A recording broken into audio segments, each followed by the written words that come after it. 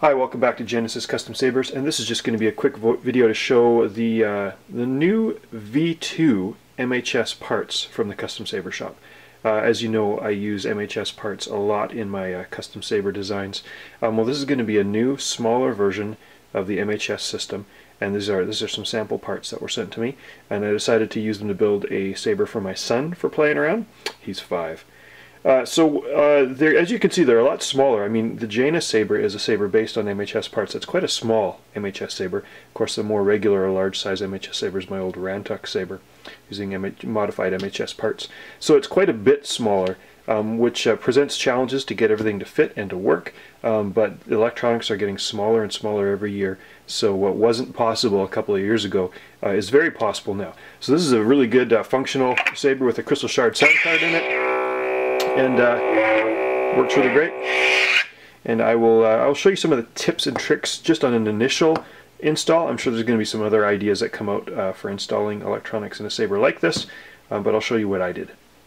So I've got the Saber taken apart, and uh, I can show you a little bit of what I've done uh, to install. the first thing I'll show you is the switch. Now you'll notice that there's a milled flute that I did there. So what I've done is, and I'll show you a picture of this, I, I machined a, a plastic slug to slide into this section before I put the blade holder on. And I'm uh, in that that uh, plastic slug that's about an inch long and an inch in uh, outside diameter.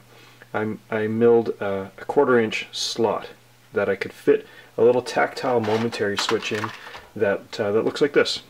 It was a one of these tactile momentary switches I use with the Ascend and with the Bad Axe.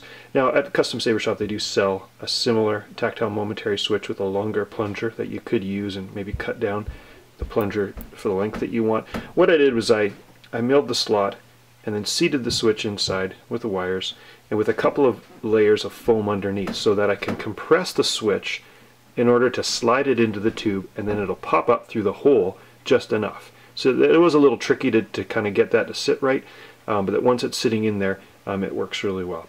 So that's how I did the switch. You could do something similar by drilling a hole halfway through uh, or, uh, or milling a slot like I did. Um, so that's, uh, that's one way. You could even just uh, you know, just drill a straight hole and have the long plunger switch sticking all the way up. I just wanted it to be something that didn't activate easily when you're gripping it, that you had to really stick your thumb in there to get it to activate. So that's how I did the switch. The battery holder I used is the same one that you can get for an 18650 cell from the Custom Saber shop. What I did was I took a, a piece of zap strap and I glued it, Gorilla glued it on the outside like that to create a loop so that I could pull the battery holder out of the Saber body. Um, so that takes a lot while for the glue to set, but once it sets it gives you a good good lever. Um, I've also got a, a layer of this um, this clear tube guard that is made for fluorescent light tubes that I often put inside MHS parts because it fits so perfectly.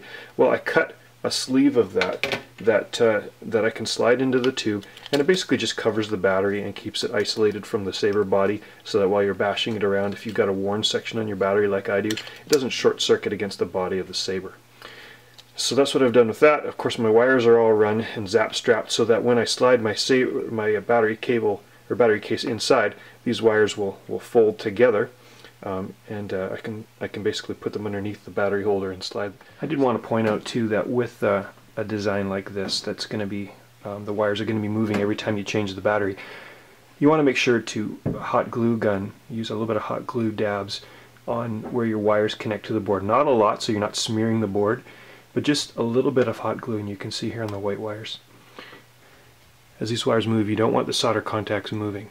You want the wires to, to, to move, but not the solder contacts because eventually they would break off. Use a little bit of hot glue and they, they'll stay good for a long, long time. This thing goes in, that goes in, it starts to slide in. Now I've mounted my uh, crystal shard. You could also use the Nano Biscotte sound card. I've kind of glued it. Uh, I've soldered it to the wire connections and then I've hot glued it to the battery pack because it doesn't take a whole lot of abuse once it's in there. It just needs to be solid as you can see the whole thing just kind of slides in. Um, so that that works really well. I'm really happy with how that is. It's a little challenging to get the battery to come out when you want it to but as I slide it all the way in there. It's nice and secure. Now with the speaker this was a fun thing I kind of discovered. Uh, with this o-ring and I'll give you the, the Fastenal number. I don't know if you can see it there. That's the uh, product number. If you look it up it's just a 1 16th o-ring. I think it's a one and a quarter inch outside diameter. I'm not sure but if you look it up, that's the number of the O-ring that I used. Um, it actually uh, holds the speaker perfectly inside that, that section. And the speaker, the premium speaker, fits and pops right in there. So your pommel actually holds the speaker. Like it's not going to fall out. What I've done is I've used some hot glue gun dabs on the contact points, so if the contact points do touch metal, they're not going to short circuit. And uh, what I do is I, I basically make sure that the, the O-ring is going to sit like that. I put the O-ring in the threaded section here. I don't know if you can see that there. I have the O-ring sitting in there. And then what I do is I bunch my wires, and this is a little technique that uh, you're going to need to learn to do with, with threaded saber bodies.